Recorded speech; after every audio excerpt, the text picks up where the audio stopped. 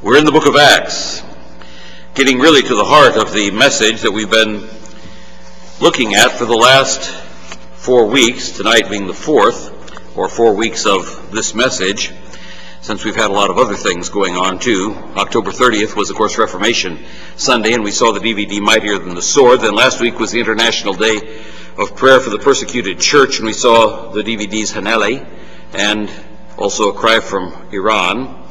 And so the last time that we were in Acts was actually on October 23rd, looking at spiritual versus physical shipwrecks, part 3. And tonight we have part 4. We're in Acts chapter 27. We'll be looking once again at verses 27 through 37.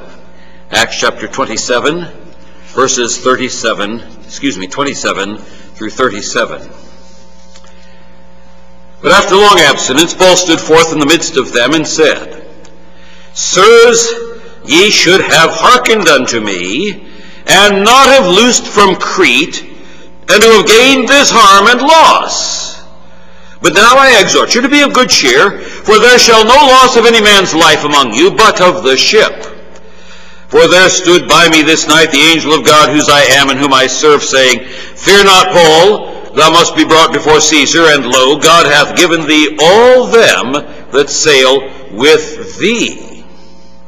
Oh, there are so many interesting things there. Those sailing with Paul,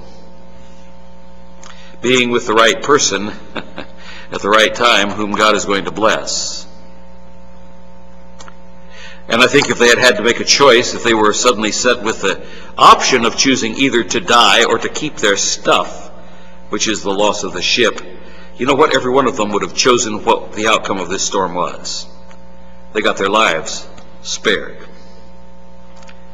Howbeit, wherefore, sirs, be of good cheer, for I believe God, that it shall be even as I was told me. Howbeit, we must be cast upon a certain island.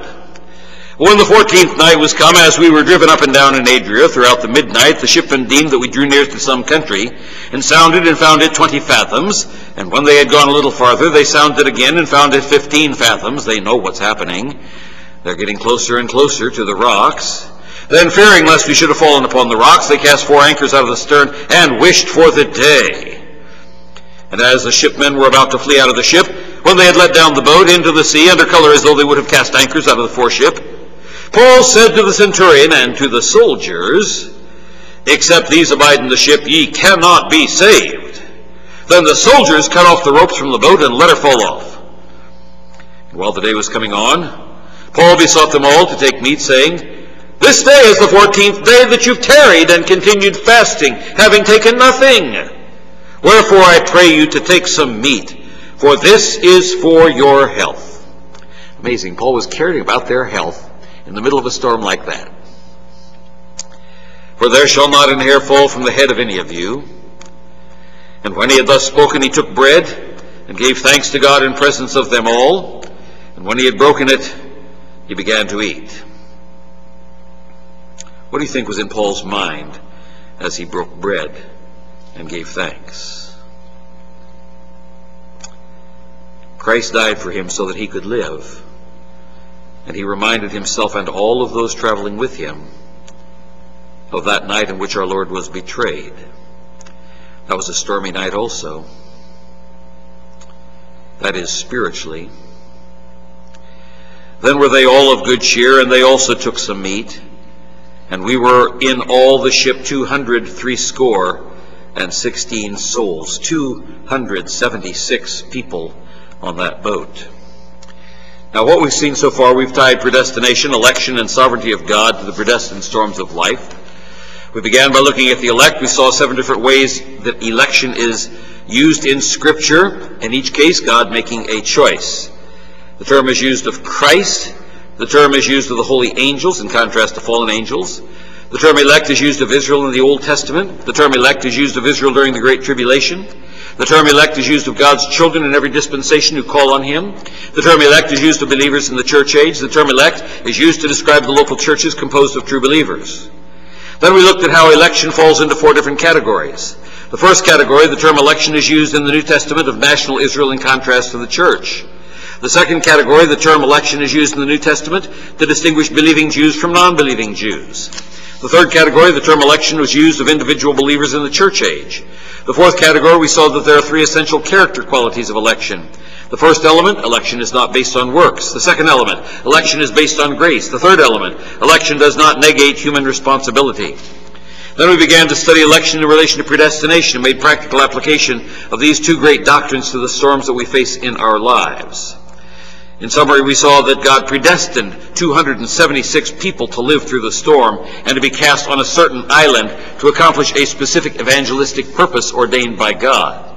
We saw that the carnal mind hates predestination because predestination means that God predetermines our ultimate final destination and the destination of all morally accountable creatures, that is, the angels as well as us, in advance. He determines those things solely with two things in mind. Number one, His glory. Number two, the ultimate best of His elect.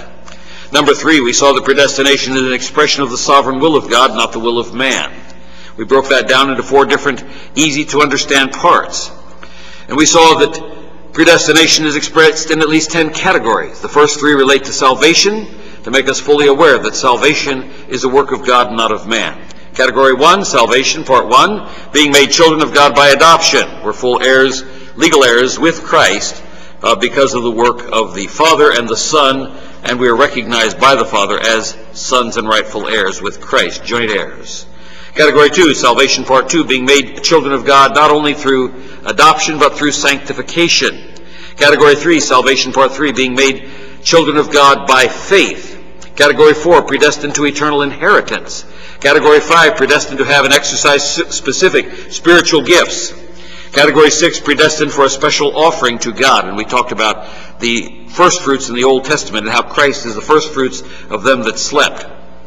And in that category number six, we analyze the New Testament doctrine of first fruits. We saw that it's used to speak of the first budding of the new spiritual life in the believer that makes him or her yearn for the transformation of the body at the resurrection or at the rapture. Second, that was why Christ is called the first fruits of them that slept. Third, first fruits is used of every believer in a particular region that come to Christ and that bring joy to the evangelist or missionary or pastor, since it means that a greater harvest is still coming.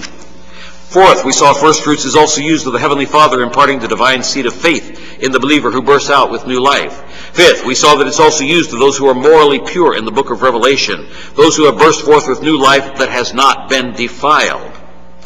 Category number six or seven, that, that finishes the category of first fruits and brings us to the seventh category of predestination. Predestined to bear spiritual fruit. That's the visible proof of predestination and of election. Without bearing fruit, you have no reason to believe that you are saved. Category 8 below, there is no assurance that an individual is among the elect. Category 8, the eighth category of predestination is predestined to manifest specific good works to the glory of God. Works that meet the threefold test required by God. One, works done in the power of the Holy Spirit. Number two, done in obedience to the Word of God. Number three, done to the glory of God. In category 9, we saw predestination as part of the eternal counsels of God concerning the future work of Christ. Christ himself taught this. We saw that in John 5, 20 through 29, and Paul repeated it in his sermon in Acts 10, 42. Category 10, reprobation is also predestined. That's perhaps the most hated part of the doctrine of predestination. Some have phrased it more gently that God just passed over the non-elect, but the result is the same. There were certain men crept in unawares who before of old were ordained to this condemnation, ungodly men, turning the grace of our God into lasciviousness and denying the only Lord God and our Lord Jesus Christ.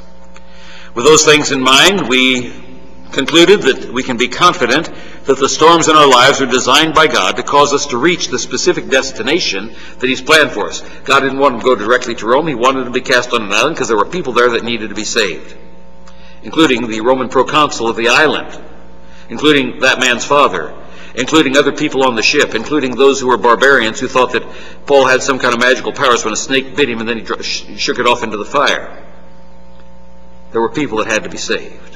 God always sends someone if there are those who are among his elect, even if it's an impossible situation.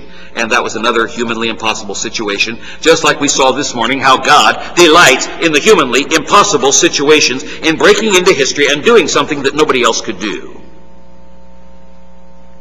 Paul looked at his multiple shipwrecks with confidence that these things were designed by God to make him into the man that God wanted him to be. And if you and I understand the storms of life, and if we don't make spiritual shipwreck, which is our focus tonight, then we can see that God has a specific purpose in bringing us through those storms of life so that we might accomplish the purpose that He has determined in advance for us to accomplish to the glory of Jesus Christ and for our own good. Uh, there's an immense amount of suffering in Paul's ministry, and that's we talked about that this morning also, how most of us want to avoid suffering at all costs. And yet, embracing the doctrine of predestination gives you perfect confidence and peace as you sail boldly through the horrifying and sometimes extended storms of life. They're not all 30 minute squalls, as we talked about before. Not all the storms are merely physical inconvenience. Some involve direct confrontation with Satan. We're going to talk about that. And vicious apostates. We're going to talk about that tonight. Violent governments, intense suffering. Yet Paul gloried in all of these. He gloried in sailing into the very teeth of the worst storms because it gave him confidence that he was squarely in the center of God's will. Like the old saying, with all this opposition from the wicked one, I must be doing something right.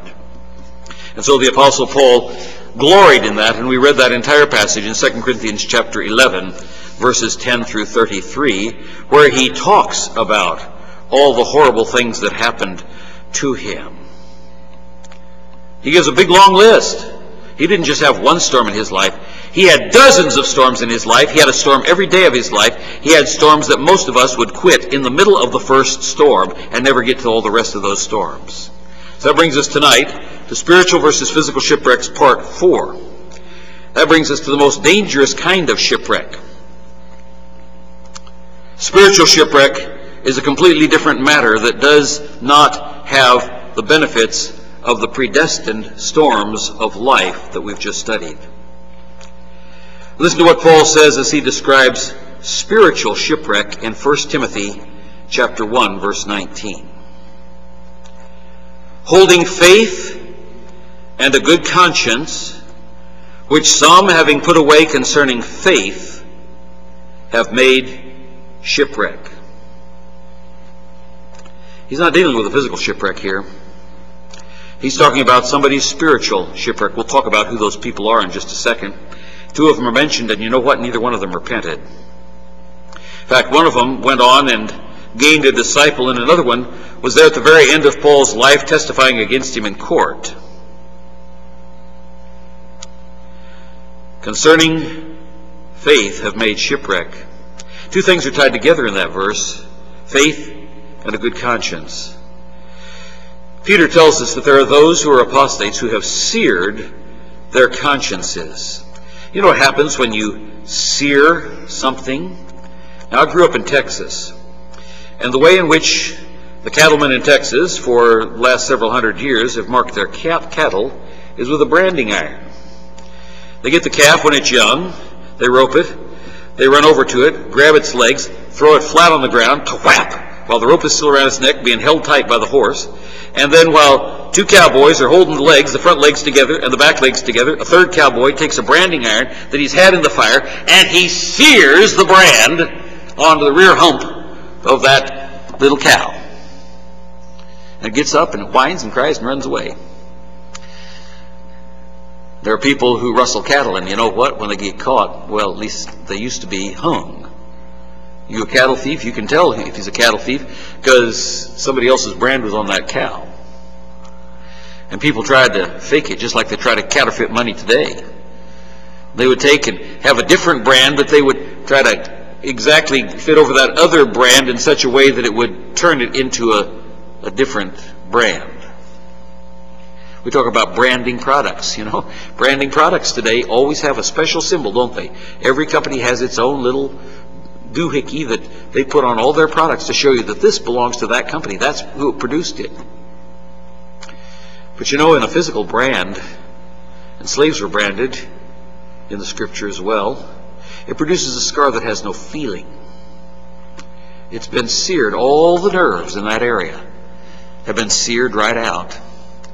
And so if you poke it, the rest of the skin around it that's not seared might feel a little bit of pressure, but the pin, if you stick a pin into a scar tissue, you don't feel the pain that you would if you stuck it into normal tissue. Peter says that some have seared their conscience. Paul's dealing with that here because to deny certain things, you have to sear the conscience that God gave you. we're going to see the different areas in which that searing takes place. Holding faith and a good conscience, which some, having put away concerning faith, have made shipwreck. If you fail to respond to the storms that God puts into your life, if you respond in the flesh and not in the power of the Holy Spirit, you're going to make shipwreck. Spiritual shipwreck falls into seven categories. At least. There's at least seven categories. Probably more. We can't mind the scripture all the way through. But at least these are seven that I've seen. Number one, the first area of spiritual shipwreck where a man can make spiritual shipwreck or a woman is doctrinal failure on central key doctrines of the faith. Doctrinal failure on central key doctrines of the faith. The very next verse tells us about some men who made shipwreck that way in verse 20. 1 Timothy chapter 1, looking at verse 19 and 20. Holding faith in the good conscience, which some having put away concerning faith have made shipwreck, of whom is Hymenaeus and Alexander. And listen to what happens if you fail in this area. Whom I have delivered unto Satan, that they may learn not to blaspheme. Now, we'll probably not get to it tonight, but we want to talk because I have at least one more message on this. We want to talk in the future about what it means to be delivered to Satan. Paul did that. He actually did that at Corinth. We'll see that, the Lord willing, in next week. But notice something about verse 19. The word faith shows up twice in verse 19. The first time it shows up, holding faith, it's without the definite article in Greek. Now, you know the difference between an indefinite article and a definite article. In English, we have an indefinite article, the little letter A, like a cow. That could be any cow. There are a bunch of cows out there, and you're talking about a cow. Well, the, the rancher might say, yeah, I got a bunch of cows, and you want a cow. Doesn't matter which cow, any old cow. But then you have what's called the definite article. That's the word the in English, T-H-E. I want the cow. Oh, the cow. You have a specific cow in mind. Yeah, the cow. The one over there, that cow. So we have definite article and indefinite article. In Greek, the way they express that is when you do not have any article at all, it's indefinite. When you have an article, which is little one letter in Greek, ha, omicron, with a rough breathing mark over the top of it. It's talking about the cow. The first time that we have the word faith showing up in verse 19, it is without the article. Holding faith and a good conscience, which some having put away concerning, in Greek it's the faith, have made shipwreck so what Hymenaeus and Alexander had done is they had put away something concerning the faith. And Paul says, because they did that, I have delivered them to Satan so that they may learn not to blaspheme. What they denied concerning the faith, Paul categorizes as blasphemy. It's an important term. Doesn't mean just saying dirty words. You can always use blaspheming again. Blasphemy is ascribing to a creature an attribute that belongs only to God. It's not just saying dirty words. Blasphemy in Scripture is ascribing to a creature an attribute that belongs only to God. Like when Herod was giving an oration and all the people said, It's the voice of a God and not of a man. And Herod took it in pride. And God smote him with worms, and they began to eat him, and he dropped dead in front of them as the worms ate his body. Blasphemy is when you ascribe an attribute that belongs only to God to a creature, to another human being, to an angel. That's why Satan is so blasphemous. He's taking for himself in Isaiah the, the great I will, I will, five times. He wants to be God. Well, that was not our thrust tonight. Let's move on. So we have the first faith without the definite article, the second with the definite article. We've studied in the past, when you see the definite article, the faith, That is the central body of truth, once and for all delivered to the saints. It is the object of faith. Faith is when you trust something, and the faith has a specific content that we trust. We have faith in the faith, which centers around the death, burial, and resurrection of Christ. In other words, what we call the gospel. That's what Paul's talking about in Romans chapter 1, verses 1 through 4. 1 Corinthians chapter 15, verses 1 through 4. Notice another little phrase there in verse 19. It says, having put away concerning faith. That little phrase, having put away, literally means to thrust away with violence. They haven't just, like, put it away like you do your Christmas ornaments at the end of the season. You're very careful not to break them. Uh, well, if you do those things. Anyway, you have these little ornaments that you stick in a box and you pack them away until next year, and they take up space in your attic or wherever else and gather dust. No, this is having thrust away with violence. Here's some guys who thrust away with violence concerning the faith, and as a result, they've made shipwreck. The gospel is who Jesus is and what Jesus did. He's both God and man. He died for our sins according to the scriptures. He was buried and rose again the third day according to the scriptures. That is always the heart of the attack that Satan makes when he's attacking the Word of God. Because he wants to get away from the gospel, the good news by which men are saved. He can't be saved. His demons can't be saved. And he hates us because we can be saved. That's always the center of Satan's attack. It's here that we have to fight our first bloody battle. That's Satan's first line of attack. Jude explains that over in Jude chapter 1, verse 3. There's only one chapter in Jude, but verse 3. Beloved, when I gave all diligence to write unto you of the common salvation. He was really excited about writing to them about all the wonderful things that were in that big package called salvation.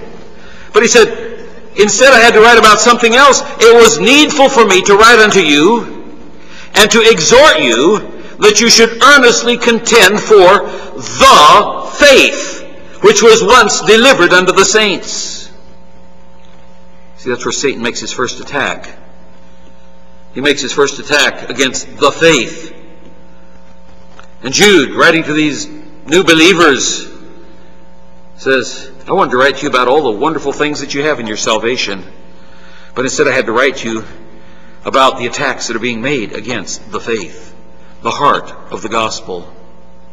We know exactly the point of doctrinal attack because Hymenaeus is mentioned again by Paul in his very next letter in 2 Timothy. 2 Timothy chapter 2:14. Of these things put them in remembrance, charging them before the Lord that they strive not about words to no profit, but to the subverting of the hearers. Study to show thyself approved unto God, a workman that needeth not to be ashamed, rightly dividing the word of truth. We all know that verse, don't we? Do you know the context?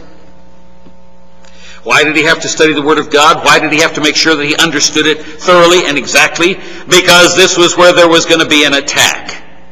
But shun profane and vain babblings, verse 16, for they will increase unto more ungodliness, and their word will eat as doth a canker, that's cancer, they understood cancer even back in Paul's day. They knew that it was there. Of whom is, and here is the same guy he mentioned in his first epistle, Hymenaeus and Philetus.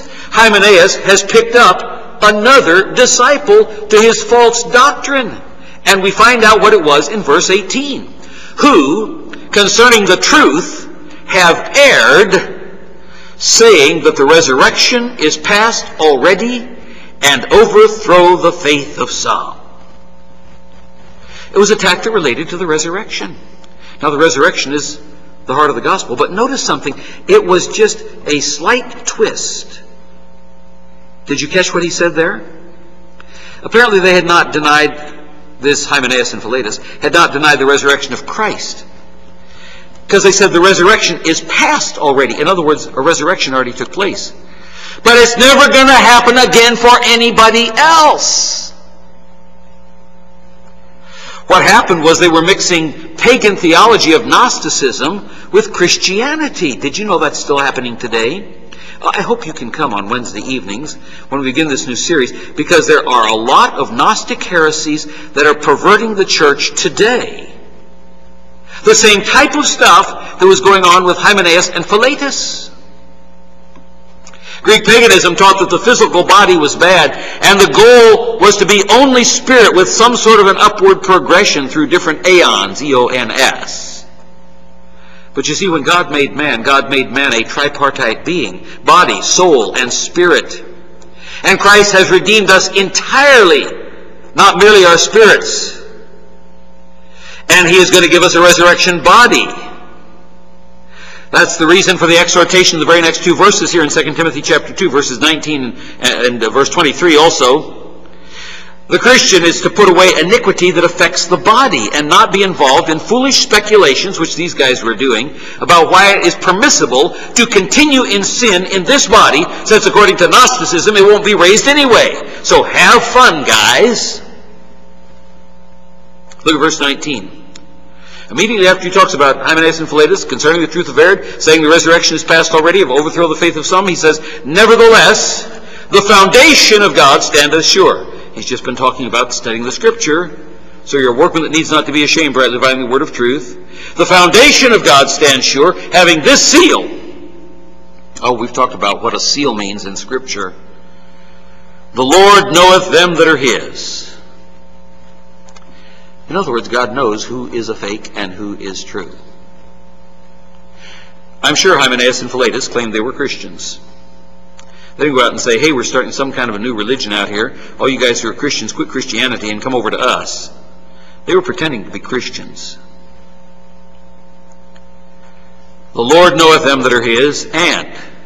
Now here's the practical application that answers the question of the heresy that Hymenaeus and Philetus had, that the resurrection is past, don't worry about what goes on in your body because after all, have fun with your body. Because you, you know, after you die, you're going to be moving through this spiritual progression and getting away from all the physical stuff. So have fun now. And let everyone that nameth the name of Christ depart from iniquity. That's a word that means moral sin. But foolish and unlearned questions avoid, knowing that they do gender strifes. That's what these guys try to get you into, is all kinds of stupid arguments about how many angels can stand on the head of a pin kind of thing. Again, let me mention, Wednesday evening, we need to be here to start that series on pseudo-Christianity. It's springing up everywhere in the U.S. It does the same kind of mixing that we see here in the text. Down to verse 24. The servant of the Lord must not be must not strive, but be gentle unto all men. Here's how you are to respond: apt to teach. That means skilled at teaching, patient, in meekness instructing those that oppose themselves. If God peradventure will give them repentance to the acknowledging of the truth. The leaders you can't ever win. Well, very rarely. But those who are caught up in this false doctrine, you know, the scripture talks about plucking them as brands from the burning, that they may recover themselves out of the snare of the devil, who are taken captive by him at his will. The first area where you make shipwreck is doctrinal deviation concerning the faith. That kind of doctrinal error is called the snare of the devil here in verse 26. It says that if you fall into that, the devil can take you captive at his will. Walks around and on a whim he says, Well, he's into that doctrine over there. I'm going to grab him. I'm going to really pull him into something dirty. Taken captive by the devil at his will. You better make sure your doctrine is straight. Because if it isn't, you will be taken captive by the devil. Goes without questioning. You know that, that business of questioning the faith? That's questioning what God said. It goes all the way back to the Garden of Eden when Satan tempted Eve and said, Hath God said? So Hymenaeus is the first one that's mentioned there in 1 Timothy. Now he's not mentioned in that passage that we just saw in chapter 2 of 2 Timothy, where Hymenaeus is connected with Philetus. He's got himself a new disciple. But he is mentioned in 2 Timothy in chapter 4, just two chapters later. Look over to 2 Timothy chapter 4, beginning in verse 14. Here's Alexander, who was mentioned back in chapter 1, along with Hymenaeus who was turned over to Satan for the destruction of the flesh, that the spirit might be saved in the day of the Lord Jesus. Oh, I'm getting ahead of myself. That's over in Corinthians. 2 Timothy chapter 4, verse 14. Alexander the coppersmith did me much evil. The Lord reward him according to his works. You know, you're not saved by works, but you're rewarded according to works. If you track that through, there are like 30 passages in both the Old Testament and the New Testament that talk about our works and the reward that we get, either good or bad, based on our works. Read sometime the book of Revelation and look for that. You're going to find that over and over in the book of Revelation. You find it in Matthew, Mark, Luke. You find it in the book of Acts. You find it throughout the doctrinal epistles. You find it in several of the Old Testament prophets. You find it in the Psalms. People, God looks at what you do. Look at 2 Timothy 4.14 and following. Alexander the coppersmith did me much evil. The Lord reward him according to his works. Of whom be thou aware also, for he hath greatly withstood our words. In other words, the epistle to Timothy, the first epistle, got back to Timothy. Timothy warned Alexander, Hymenaeus and Alexander. Neither one of them repented. Hymenaeus picked up another disciple. And Alexander is still in 2 Timothy, withstanding the words of the Apostle Paul. Look at what else it says here. He hath greatly withstood our words. At my first answer, no man stood with me. Now, we don't know the specific context when this is taking place, but Paul apparently was like put on trial. And Alexander was one of the ones there who was accusing Paul of false doctrine. Paul had written to Timothy, say, Alexander's got false doctrine. Alexander was one of these bull-headed pig men who said, I'm going to fight back. I'm going to push back. It's Paul who's teaching the false doctrine. He greatly withstood our words. At my first answer, that's the answer about the words that Paul had said. Wow, look at this. No man stood with me, but all men forsook me. They were so scared of Alexander that they actually backed out on Paul. Nobody stood with him. I pray God that it may not be laid to their charge. Paul knew that these were people who'd been sucked in by Alexander's false doctrines. But he said, I wasn't by myself. Verse 17. Notwithstanding, the Lord stood with me and strengthened me, that by me the preaching might be fully known. Paul didn't back down either. Paul was God's bulldog. Remember we talked about that when he was stoned at Lystra? Went to Lystra and Derbe, got you know, stoned, and then while the disciples were standing around, he got up and they walked back into the city. They didn't run away. Paul came right back into the city. He was like a bulldog. That the preaching might be fully known and that all the Gentiles might hear. Tells you something else. Apparently, Alexander was one of those who didn't want the Gentiles to hear. We saw how the Jews at Jerusalem wanted to kill the Apostle Paul. We saw that this morning when we were talking about how God breaks through the impossible situations. And I was delivered out of the mouth of the lion. Apparently, this is a Gentile court. They could have fed him to lions. And Alexander is testifying against the Apostle Paul. And the Lord shall deliver me from every evil work, and will preserve me unto his heavenly kingdom, to whom be glory forever and ever. Amen. Alexander also apparently refused to repent after Paul's rebuke in 1 Timothy over a doctrinal issue. But he actually witnessed against Paul. And by the way, 2 Timothy is written shortly before Paul's execution. We don't know what else Alexander did after this point. 2 Timothy is the last epistle that the Apostle Paul wrote before he was executed by beheading in Rome. Just remember this apostates and heretics can be very vicious.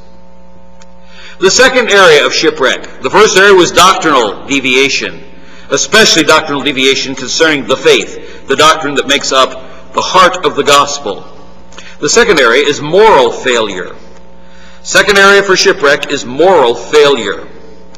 Remember back in verse 19 that we just read? Nevertheless, the foundation of God standeth sure, having this seal, the Lord knoweth them that are his, and, now here it is, let every one that nameth the name of Christ depart from iniquity. Iniquity is moral sin. There are different words for sin. This is the one that deals with moral sin. That includes all of the many normal forms of sex outside of marriage, as well as all the perverted forms of sex that are forbidden under all circumstances. Paul goes on and expands the reasons in the next verse. So keep away from moral sins if you want to be a clean vessel used by God. Look what he says in verses 20 through 22. But in a great house there are not only vessels of gold and of silver, but also of wood and of earth, some to honor and some to dishonor. If a man therefore purge himself, that means clean himself up from these, he shall be a vessel unto honor, sanctified and meet that is fitted for the master's use, prepared unto every good work. So it affects not only usefulness, it affects whether or not the works that you do will be considered good works by God. And then he explains it in verse 22. It's those things of your flesh that keep rising up and where you want to have these sexual relationships. Flee also youthful lusts. To follow righteousness. Here's the positive thing. The way you flee is by following that which is right, not sitting in neutral. You know, if your car is in neutral on a hill, you don't have to be in reverse to be going backwards. If your car is in neutral on a hill, it's going to go in reverse. You're pointed uphill, but you know what? You're still rolling backward if you're in neutral. You've got to have it in gear to go forward. Here is what you are to follow. Righteousness. Faith. Charity, that's agape love. Peace. And you know you're not alone. Look at the last phrase. With them that call on the Lord out of a, what kind of a heart? A pure heart. Moral failure has caused many a shipwreck in the lives not only of Christian leaders, and you can name them by the score if you look at all the big fancy modern preachers, you know, who have gone into sin. All kinds of horrible things. Immorality. It will make you go shipwreck. Number three. The third area of spiritual shipwreck is temptation to what we've called the other deadly sins. You know, that issue of moral impurity naturally brings us to the seven deadly sins, which comprise the whole next area in which a Christian can make shipwreck. Now, I have a question for you. Can you list the seven deadly sins? You know, I did an entire series on the seven deadly sins. In fact, I spent two weeks on each sin. The seven deadly sins. Did you know all seven of those seven deadly sins are given in Scripture as illustrations of how you can make shipwreck in your spiritual life? Let's see if we can name the seven deadly sins. Who can give me one? Well, we just listed lust, so that doesn't count. What else is seven, one of the seven deadly sins? Gluttony. That's another one of the seven deadly sins. Sloth. That's another of the seven deadly sins. He's looking back at his notes. no, I know he's not. okay. Sloth. Covetousness or greed. That's right. Wrath. That's right. This unmitigated anger. What else? There are two more. What's the sin of the devil? Pride. And there's one more. It's not the same thing as jealousy, envy. That's right. Those are your seven deadly sins. Every one of those is given in Scripture in illustrative ways in which someone has made spiritual shipwreck. I tell you, that's that's that should warn you as to why they have been historically called, not in Scripture, but historically called the seven deadly sins. Because those things are the root of all the other kinds of sins that come up.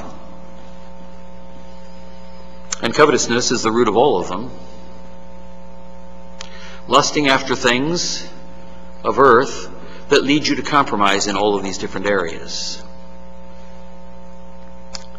And of course, um, we're not going to go over all of those again. I, I, hope you took notes when we did that. Let's just look at a few that cause shipwreck, and they're all listed in this one passage here that Paul describes. That we've just studied the perverted lust, and so Paul starts with perverted lust in Romans chapter 1, beginning in verse 22. We're in Romans 1, starting in verse 22. Follow along if you've got your Bibles, please. Professing themselves to be wise, they became fools. Ah, when you turn away from the wisdom of God and turn to the wisdom of earth, or the wisdom of Satan, you become a fool. And here's what happens. They changed the glory of the uncorruptible God into an image made like unto corruptible man, and to birds and four-footed beasts and creeping things. Wherefore God also gave them up to uncleanness through the lusts of their own heart, to dishonor their own bodies between themselves. So we fall into moral impurity here. Who changed the truth of God into a lie and worshipped and served the creature more than the Creator who is blessed forever. Amen. And you know, all those pagan religions that worship the creation ended up in moral perversions in their temples with temple prostitutes. Who changed the truth of God into a lie, worship and serve the creature more than the Creator who is blessed forever. Amen. For this cause, God has a specific penalty which is shipwreck in specific areas. For this cause, God gave them up unto vile affections. For even their women did change the natural use into that which is against nature. And likewise also the men. You know, in the natural realm, God has given us a conscience, hasn't He? Remember what Hymenaeus and Philetus had done? There was a problem both with doctrinal error and conscience.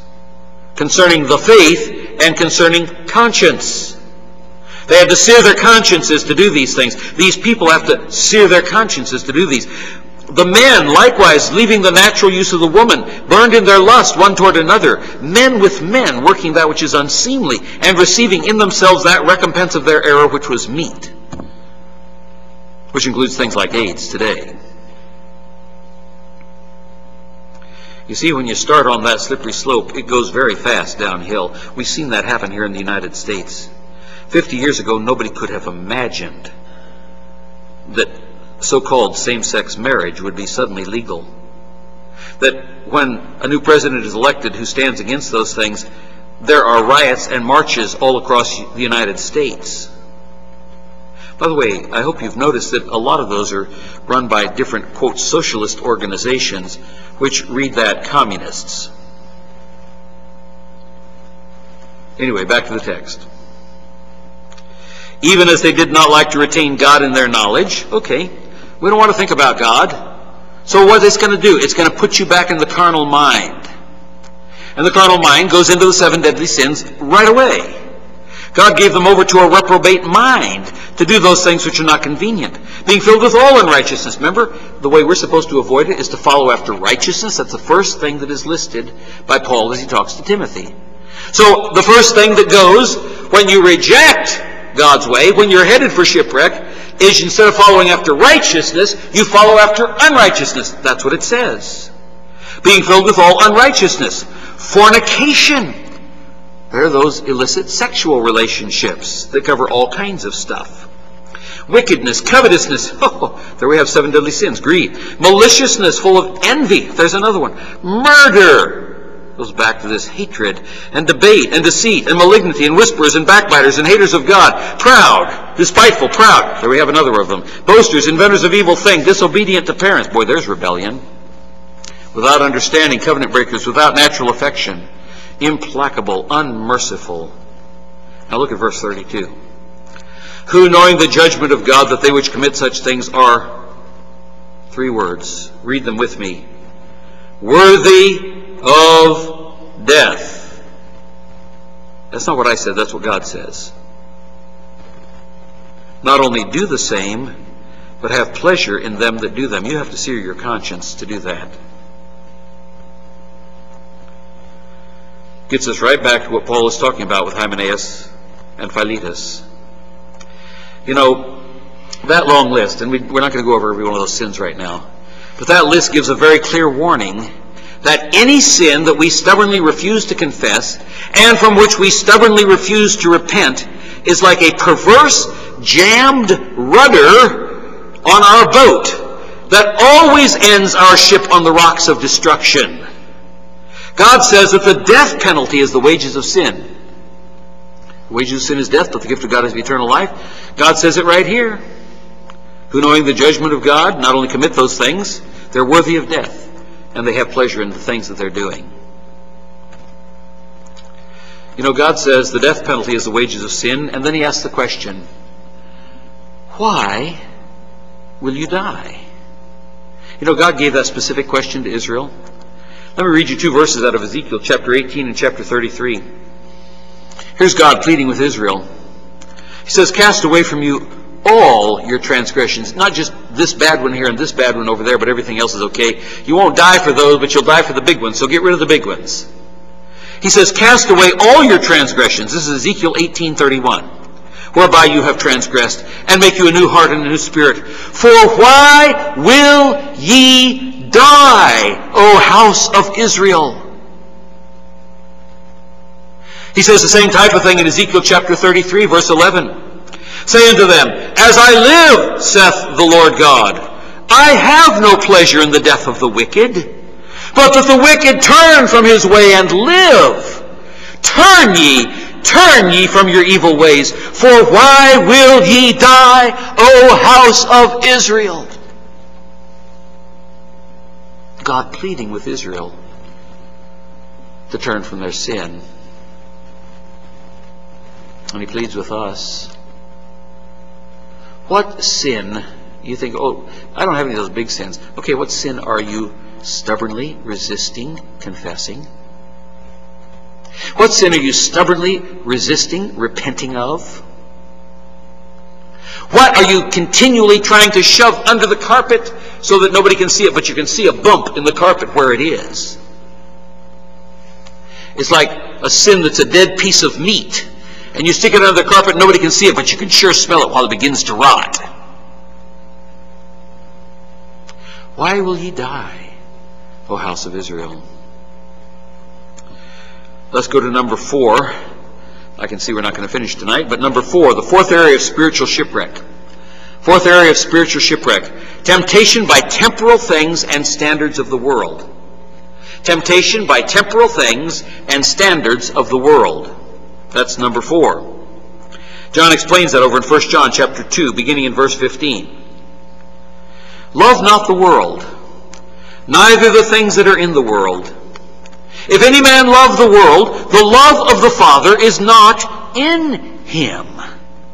For all that is in the world, the lust of the flesh, and the lust of the eyes, and the pride of life is not of the Father, but is of the world. And the world passeth away, and the lust thereof. But he that doeth the will of God abideth forever. Temptation by the spiritual things and the spiritual standards of the world. Did you know that the world around you has a different set of standards? I hope you've noticed. A different set of standards than God's standards. Uh, that might be your standards, but they're not God's standards. The things that the world is focused on, you know, I was having a discussion with one of the men here before the service tonight, and he was astounded at the kinds of things that people actually throw out in the trash.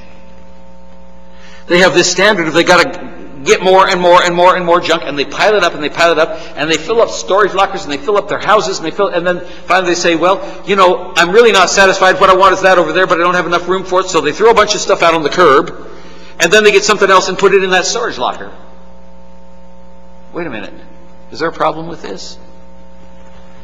The world has a different standard than we have, and it goes back to one of the seven deadly sins, which is covetousness. Paul says, Colossians 3.5 and Ephesians 5.5, covetousness is idolatry. And the covetous man is an idolater. He's put something in the place of God. That's a serious, serious crime. Because the very first of the Ten Commandments, God's standard in the Old Testament, it's repeated in the New Testament. Thou shalt have no other gods before me. And covetousness is idolatry.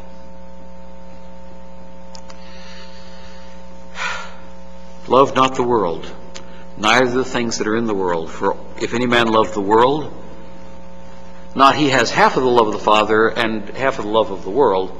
It says the love of the Father is not in him. It's black and white from God's perspective. There are no shades of gray. We're not walking in the twilight. We either walk in the light or we walk in the darkness. You cannot walk in between. Either you are walking in the light or you're walking in the darkness. Remember, there was no twilight zone between Israel and the Egyptians when the Shekinah glory came and stood between them in the middle. It was darkness to the one all the night, and it gave light to all the Israelites. But there was no shades of gray in between. That's a very serious area of spiritual shipwreck. Temptation by the temporal things and the standards of the world. Well, that also includes, and we're going to have to wait for this for next week, but it includes the way in which we deal with other believers when we insist on our rights rather than on our responsibilities. Did you know you can be perfectly right under the law and you can still make shipwreck? Spiritual shipwreck. We'll have to pick it up there next week. Our gracious Heavenly Father, how we thank you very much for your word and its power and its practical application. So many of us want to just learn theology, but we don't ever want to apply it. What does this mean in terms of the way I should be living my life for Jesus Christ? And we have the temporal standards of the world. We're willing to follow along with some rinky dinky kind of false doctrine because, after all, it lets us get away with certain things. We're tempted to morally lust. Temptation has faced everybody that ever lived on the planet. Oh, Father, help us to understand that we also need to have your standards, first of which is righteousness. Because the first area of failure is unrighteousness. Father, we pray that you will keep us from the temptation of the temporal things. Keep us from the temptation of the temporal standards of the world, which do not keep eternity in view. Help us to focus on things that are above, not on things on the earth, for we are dead with Christ, and our life is hid with Christ in God. When Christ, who is our life, shall appear, then shall we also appear with him in glory. Help us to set our affection on things above, not on things on the earth. Father, we pray that you will take the Word of God as it has been proclaimed tonight, remove anything that I have said falsely, that you will cause us each to be convicted in our own hearts and lives of the sins that are in our lives, so that we might live for Christ. For we pray it in Jesus' name. Oh God, keep us from shipwreck. In Jesus' name, amen. Our closing hymn for tonight, number 437, relates